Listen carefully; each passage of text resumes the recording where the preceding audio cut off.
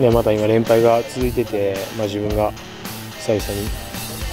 出させてもらってチームに勢いをもう一回つけたかったんですけど、まあ、結果的に負けてしまったんですごく悔しい気持ちがやっぱり強いです。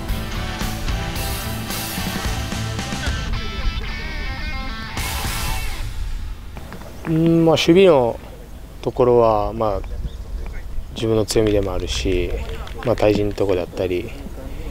まあ、攻撃面でも受けて動かしてっていうのを、まあ、自分含めてやっぱチーム全体的にもできている部分は多くあったのでボールを持てる時間を増やしながら、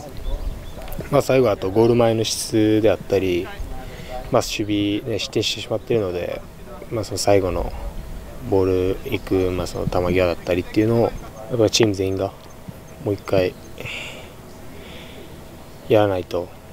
いけないんじゃないかなと思います。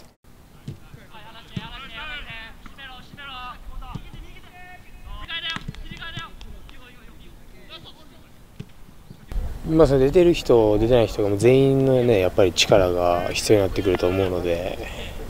まあ、常に準備して、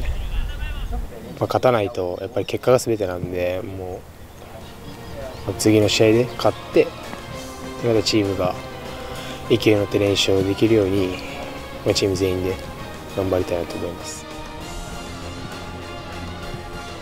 まあ、このコロナの中でなかなか練習場にも来れないですし試合会場にもやっぱ人数制限っていうのがあってなかなかね多くの人が来れない中でやっぱそれでも、ね、応援してくれる方も多いですしやっぱ SNS とかでたくさんメッセージもらったりしてるので、まあ、そこはすごい自分の中でも励みになりますし勝って一緒にサポーターと喜びたいですし僕自身もこれ勝ちたいので、まあね、たくさん応援してくれてるのでそろそろ応援に応えないといけないなっていう気持ちが強いです。